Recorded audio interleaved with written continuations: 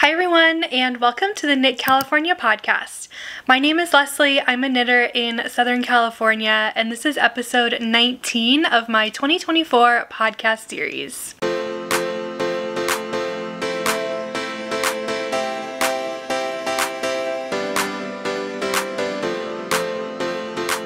Rocky, what are you doing, little boy? Did you come to join for the podcast? He's ridiculous. Okay, we'll leave him in focus. Hi everyone, I am excited to be back today. Today is June 2nd, 2024. We are officially like getting into summer here. I am feeling the summer vibes. While it's cloudy out right now, uh, the clouds will definitely part at some point today and we're expected to oh we're only expected to get up to 75 today but it's been in the 80s the last few days. Um, I've been swimming a couple times this week last week Memorial Day weekend at a family member's house and then this week we went to do some laps on Friday so that was fun. It feels like you know pool season is here which I love I love going to the pool um, and we're definitely like in the swing of spring still and some summer knitting. So I guess at some point I'm gonna have to do like a summer knitting plans video for all of my tanks. Um, but for today's podcast episode, I have an update for you on my poppy tee, my sweet shop blanket, a new cast on, and I'm swatching for a new design that I would like to talk to you about. And I have a little bit of tailor talk for the end of the episode. So why don't we get into it and start with my poppy tee.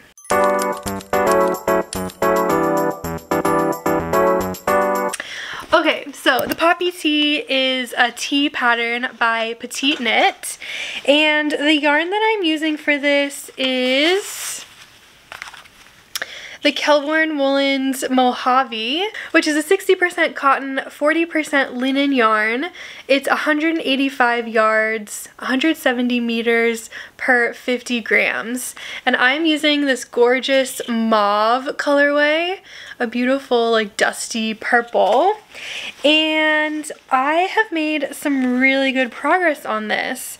Earlier this week, uh, on Thursday, I did try this on. So let me show you where I'm at first before I get into that. Do, do, do, do. Okay, it doesn't look like that much. Here's my progress keeper that I put on from last week. So you can see, I mean, there's definitely a couple inches, maybe two inches of progress there. But this is a sport weight yarn, so it's definitely going a little bit slower compared to like my Farnham tee. That, I feel like a week into it, I had like the front panel basically done. Um, and we're not there yet. I still have um like 25 more rounds before I'm like done with the the yoke of this although I am you know partially knitting up the sleeves here as well so there's a little bit of like multitasking I guess going on here with this um last week when I talked about this I was like really interested in the construction because it's something a little bit different where you know you knit a little bit of the back panel up to here. So see this like diagonal line, you only knit up to here. Then you pick up for the front panels on both sides and then you're like knitting in the round, but you pick up on the side of the front panel here to start the sleeve knitting. And I had been trying to look up if this construction was called anything specifically. I had a few comments and people reach out to me and I think I have, I think we maybe have determined that this is called either Sorry, I wrote it down. I'm trying to find the page. Either a full fashioned shoulder or a European shoulder. I've been trying to do some Google searches and like watch some YouTube videos and like both of them kind of seem similar. A lot of information that comes up comes up related to like men's suit tailoring which is not quite what I'm looking for. I guess it's similar, but anyways, it doesn't really matter. I was interested. I got a lot of DMs that there's a couple other petite knit patterns that use the similar shaping, specifically the Elizabeth blouse and I think there's a cardigan also that uses the same shaping. Either way, I think it's really interesting. I was worried about how it was going to fit, but I'll put the video up. I did try this on earlier this week and it fit like almost perfectly. So I'm really excited about this. Um, so I finished the first section of the yoke. The next section of the yoke is to basically do raglan increases along the four points that I have here. So I have started that and like I said I've got about 25 more rounds until I finish that section and then I think I'm at the point to split for sleeves although like the sleeves are kind of already there, so I haven't read ahead fully in the pattern yet to see where we're going. Um, but yeah, I'm really happy with this so far. This is kind of my I don't know, all of my projects right now are kind of at this point where they're in the round or they're like relatively easy knitting, which is great. I feel like I haven't had that in a while. And I do feel like I can pick this up um, especially for like meeting knitting and just knit knit knit. I just have to like double check with my row counter to make sure every time I get to one of my stitch marker sets like oh am I on an increase a raglan increase round or is this just like a straight knit round? Because I always forget from like one point to the other side here. Um, but that's why I have a system and why I use row counters. So yeah, this is going really well. I guess just a couple little stats in case you're interested. I'm knitting the size extra large, which is the fifth, fifth size in the pattern. It's meant to fit a 39 and a half inch to 43 and a quarter inch bust with two inches of positive ease. So a final circumference of 45 and a quarter inches. Um, the pattern recommends using 3.5 millimeter needles. I am knitting on a 4 millimeter needle and the pattern gauge is 23 stitches by 32 rows. I have not measured my gauge yet. I should really do that. Um, but like I said, I had tried it on, so I know that it is fitting. So I'm not too worried about that. Um, petite knit patterns in general, I always go up at least one needle size. I guess in the, I don't, yeah, 3.5 to 4 millimeter needle, so half a millimeter needle size, but I think in US sizing that's a full needle size. What is that, US 5 to 6 maybe? I don't know. Yeah, this is a 6. US 6. So it's going really well and I'm really happy with it. So that is where we are at. Okay, let's talk next about my Sweet Shop blanket.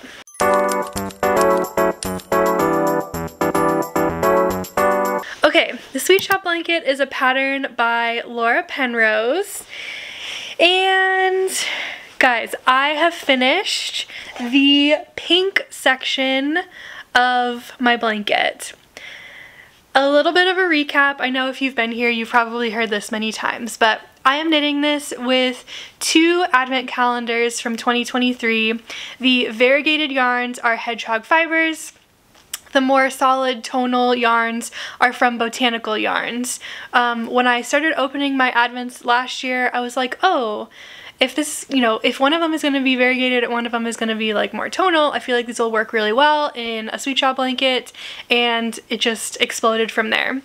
Um, and the Botanical Yarn Advent calendar kind of went in like um, color order so yellow green blue purple pink and so I have been setting up my blanket from corner to corner yellow, green, blue, purple, pink as like the first half on a diagonal of the blanket and then finishing kind of in the opposite order uh, with pink, purple, blue, green, yellow. So from corner one, it's yellow, across the main diagonal is pink, and then it'll come back to the yellow.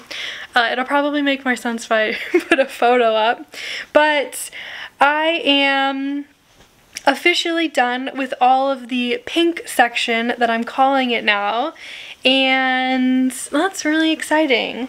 I would love to scoop back and show you but Buddy has decided to lay down right behind my chair. Bud, watch out. Watch out, bud. I don't want to hit you. Okay. I don't know if this is far enough, but... Do, do, do, do. Uh, do, do, do, do. do, do, do.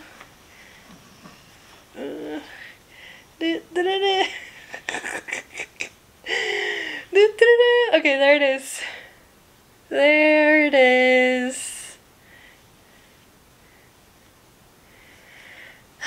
I'll have to get a full full photo of it laying on the bed and I'll put it up here so you can see it.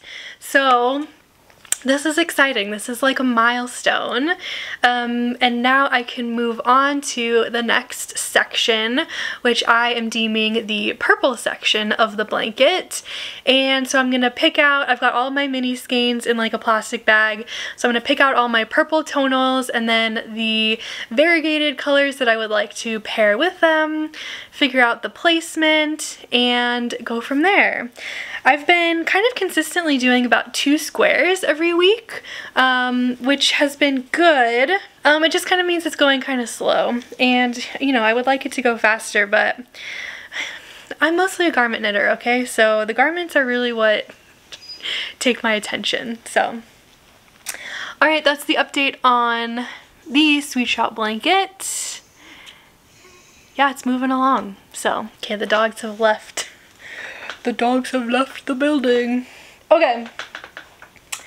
Um, I cast on a new project this week, so let's talk about the Sailor Beanie.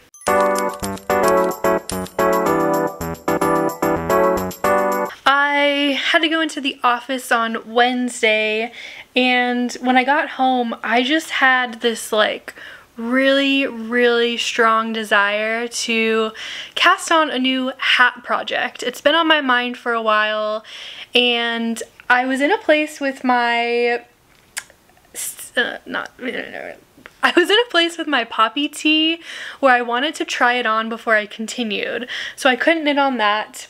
I really wasn't in the mood to like pick up stitches and start a new square on my Sweet Shop blanket and I don't really have a lot of other stuff going on at the moment so I was like let me cast on a new hat and what I was really craving was just that like in the round kind of mindless knitting on 16 inch circular needles. Well what I decided to cast on was the Sailor Beanie by Sari Nordlund.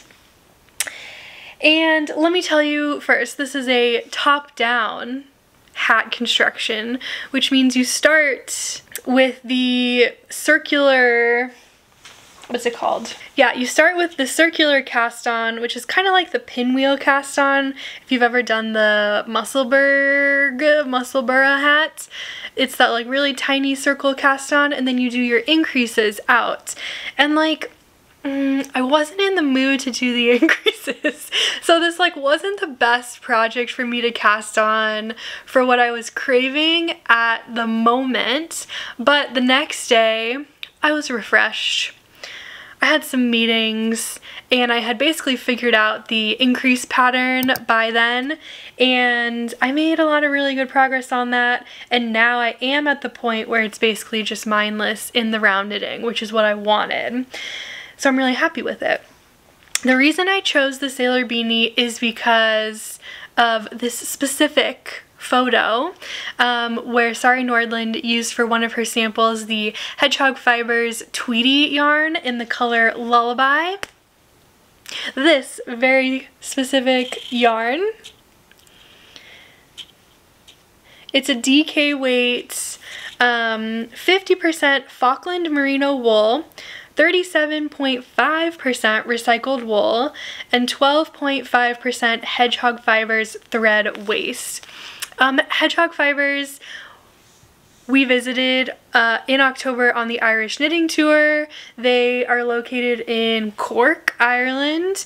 And honestly, that was like one of my favorite things that we did on the trip. I was like so excited to visit Hedgehog Fibers. And this was like one of the things I knew absolutely I wanted to get was two skeins to knit this beanie. It was like it was like a fight to get this yarn in there, okay? Everybody wanted like a sweater quantity of this purple yarn and I was like, guys, I need two skeins, please. Um, so when we got there in the morning, I like snatched up two skeins right away and I was like, I'm sorry, I need these two. There was plenty more. There was plenty more, okay? It wasn't a huge issue, but it was so funny. Anyways, yeah, I loved the, the sample photo so much that I needed the, that exact hat. And so now I'm finally casting on with my Hedgehog Fibers Tweedy yarn. Um, this yarn is like super fun and special with the thread waste.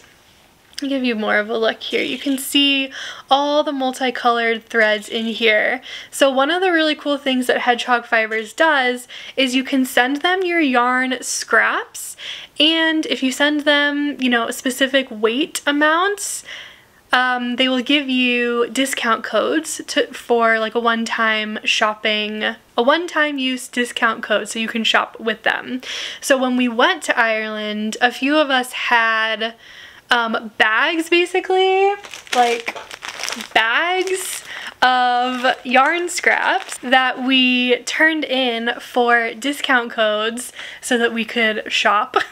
um, Rachel and I both had 30% off discount codes and which to be fair okay Rachel donated she had Rachel had a lot of scraps so she donated part of her scraps to me so that I had a 30% discount code and then she also had a 30% discount code and we basically just like went ham in hedgehog fibers and bought a lot of yarn.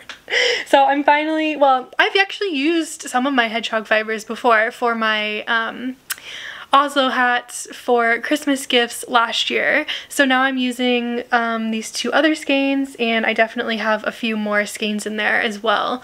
But yeah, I'm really excited about it. Um, oh, yeah, yeah, yeah. Okay, sorry. Tangent.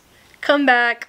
They take that thread, they take that yarn that people turn in to them and they, you know, chop it up. I'm assuming they have one of those things where you can like dump the yarn in and it's got these like mm, like razors or whatever blades and then it just like chops up the yarn. This is what I imagine. Into these like little tiny threads. And then they spin that into this um, tweedy yarn.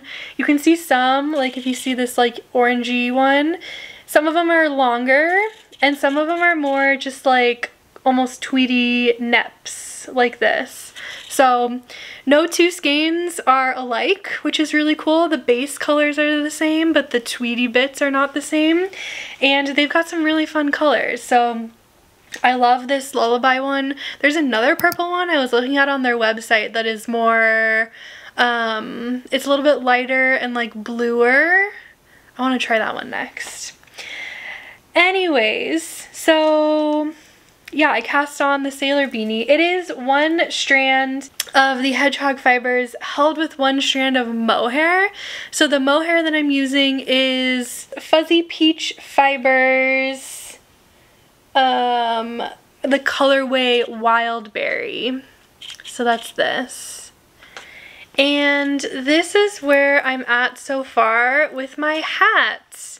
It looks a little silly, I'm not gonna lie. But that's how it's supposed to look. So just imagine it looking better than this. Um, but yeah, let me show you. So here's the cast on. You can see and there was, I, I Googled, well, I YouTube searched circular cast on using knitting needles, not using a crochet hook. And I found a really good video. It made it super easy. Um, I will link that video in the description box down below if you're interested in seeing what that is, I'll put it under, I always have the notes of all the projects that I talk about in the description box, so I will put it under the Sailor Beanie information. Um, and then you can see the increases here this way. And it's 2 by 2 ribbing. Um, apart from that, and you know I've basically stopped with the increases here and now I'm just knitting 2 by 2 knitting in the round. It is a double folded brim so you'll end up with uh, four layers, I think. This is to be an, an, extremely warm hat, okay? I'm not really expecting to wear this hat here in Southern California. I'm expecting it to wear it in Ireland again in October and like you know whenever I go on trips to the snow or something like that um, but it's a really fun knit I'm really enjoying it and this was my little joke it looks really funny like that um, but yeah. So I've got I've got a lot more to go.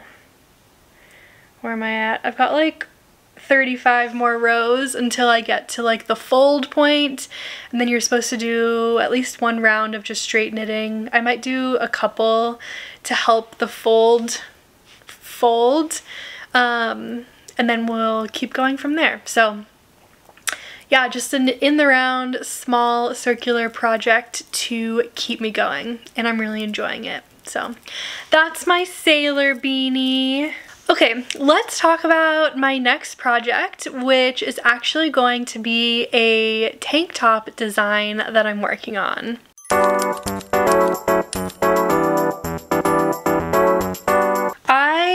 Had another really fun mail day this week. I got some really exciting things in the mail. And one of the things that I got was two skeins of Dusty Yarn Co. This is the colorway Top Shelf from her brand new Palm Springs collection that is going to be released soon. She is still working her way through all the colorway reveals. Um, it is all Palm Springs themed. This color called Top Shelf is supposed to be kind of like, you know, agave color themed and I think like she knit she knit she hit the nail on the head with this. I am obsessed with this color. And I got it on this really cool base which is her Luxe Silk Cashmerino base. So it's 70% superwash merino 10% cashmere 20% silk a three ply 437 yards per 100 grams. And I swatched it need to actually take this off of the blocking boards because it is dry now. Um, yes, I pin out my swatches, but I don't like pull them super tight. I just pin it out so that they don't roll. Um, I don't particularly like doing the, the like, um, garter stitch edges on my swatches. I don't know, I'm just like not very good at that. So I just pin them out so that they don't roll. But here's my little swatch. No, it's hard to see. Um, there we go. You can kind of see that. It's super drapey, you can see that, which is really nice. That's the silk content in there. And this is really soft and really like thin and the cashmere you can feel is like a little bit fuzzy, especially on the knit side, um, which I really like. So yeah, my goal is to design a tank top similar to, you know those old Navy tank tops that are just like I don't know, like classic, simple. They kind of come in a little bit around the neck. They've got the thick, like one inch band, neck band and sleeve band. Um, that's my thought here with this. So yeah, I needed to swatch it out. I have um, done a little bit of the measurements um, and we'll see how it goes. Um, I don't think it'll be a design that's like released anytime soon. I hope I'm hoping to, you know, get it knit up in the next couple months, wear it for a bit, see how it goes, and then if I really like it and can figure out the grading for it, this would probably be something that I release like at the beginning of spring summer next year. Um, speaking of designs, I do have a couple of design, well, I have one design idea um, that I'm collaborating with for yarn support and potential kits, like a sweater design that is likely going to be coming out in August or September. So keep your eyes peeled on that. I have not started knitting it yet, but I do think I have the pattern mostly worked out, which is really exciting. Um, I've been I've been working my way through the Sister Mountain Design School course um, and all of the spreadsheets and templates that she has available have been super helpful.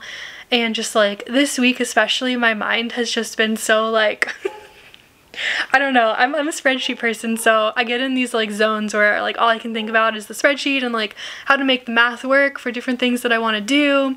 And so I'm in a really fun, like creative math plus knitting space right now, which I'm really enjoying. So um, I don't know, it feels, I guess just like a little bit of like chat about it. It feels kind of weird and like imposter syndrome to like trying to be breaking into the designer space after being, you know, a knitter for the last four years, kind of being like a content creator, influencer-ish, whatever you want to call it. Um, that I feel like I, I do relatively well on Instagram and here on YouTube. Um, but this has something that I've been this has been something that I've been interested in really since I started knitting. Um, and with the like math background that I do have, um, I do think, you know, obviously it's something that I'm interested in. I like doing the spreadsheet piece of it. So I do think it is something that I could be good at. so yeah, that's where we're at with it. Um, and I'm having a I'm having I'm having a lot of fun this week. So yes, this is a fingering weight also. So like fingering weight tank tops. I know there is some sort of market for that. Like, you know, the mini mock neck tank is out there, which I think I'm going to be restarting this month as well. Um, but yeah, and then just kind of while we're here talking about the design space, I know I had talked last week about the Sandnes Garn Tynn Line, and so my order of this came in. Look, look how nicely this matches my nails. I am really happy with it. um, this is the colorway Ice Blue or Icy Blue. These are Olive and June Blue Chrome from their summer collection. Link in the description if you're interested. Press on nails. Um, but yeah, this is the fingering weight Sandnes Garn Line that I had basically the same yarn that I knit my Farnham tee in, but the fingering weight version instead of the worsted weight version. So at some point this summer, I'm also thinking about knitting up another design in this. Um, another tank top, like a v-neck tank top in this. Um, and then there will be kind of like two parts to that, like the design piece, but then also just seeing how the Tynn Line works up and wears compared to the worsted weight line and doing that comparison. So I got five balls of this and I like it. It looks, I'm, I'm really in love with the color and like it feels really good and you can definitely tell that it's like a fingering weight versus the worsted weight, I think this would be really awesome to hold double as well for more of a DK weight. If you didn't want the like regular worsted weight version, um, although that is more yarn, but like I don't know, I think you could make a really nice fabric. You could even like marl some colors together. This yarn is already interesting enough because that linen almost gives it like a heathered look. The linen, the way that it takes the dye is not quite as saturated as um, the cotton. And I don't know, it's like kind of hard to like really see it on the camera. I wonder if like, if, you know, it might be easier to see it in person. Um, but like if you had a cup you know two colors that you really liked you could like marl them together if you were holding them together to make something DK weight. So maybe there's another design idea in the future for something um, with that yarn held double for more of a DK weight. But let's see, I think that's it. I think that is like really the update on all of my projects. So my goals for this week are to cast on this um, top shelf tank top. Um, actually, I think, I don't know, do I want to like say what the name is? I think I might call it something like the Palm Springs tank top. Um, even though I kind of like top shelf tank or like agave tank, I kind of would like my designs to be more of like a California themed names. Um, and I would like to make progress. I would like to finish the yoke on my poppy tee. I would like to plan out and start the purple squares for my sweet shop blanket. And then we'll just make progress whatever we make on the sailor beanie. I'm not going to put goals on that. That's just going to be kind of like my ongoing hat project to get me through meetings and stuff. Oh, also, are you proud of me that I didn't cast on another Oslo hat? I posted that on Instagram and there were a couple people that were like, oh my god, I'm so proud of you. This is so unexpected. And I was like, I know. Crazy, right? Um, yeah, I've been wanting to try out some different hats. So I haven't seen a lot of people knit this one, um, but it's really nice. I'm liking it so far. Uh, one that I have seen a bunch of people make is the Manhattan hat. It's a one by one rib by Tori Yu. I do, that one's on my list. I do really want to knit that one. Um, but the the purple hedgehog fibers was really calling to me. So that's where we're at. All right. Um, let me give you my little bit of Taylor talk that I have for this week.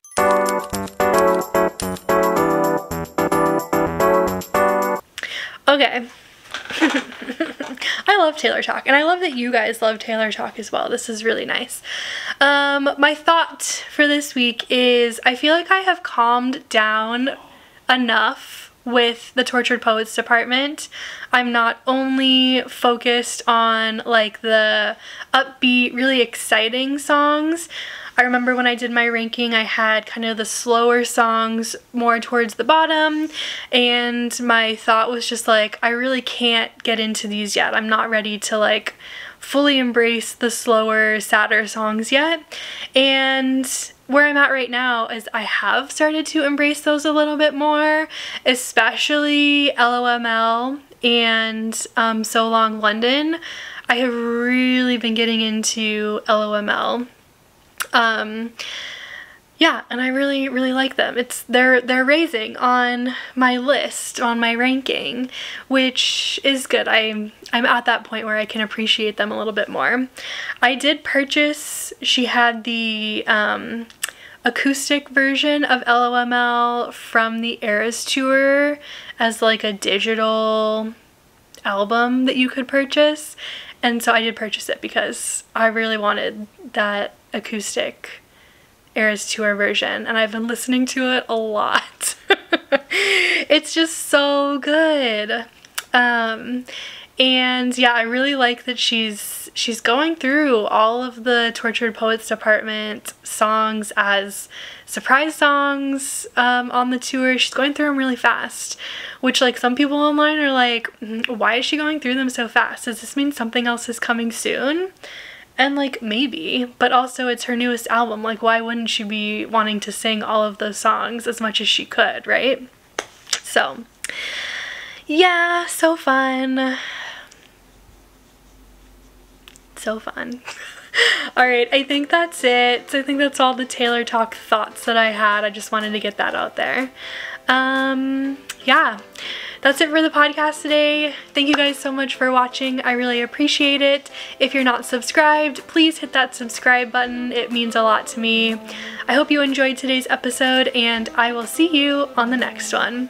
Bye!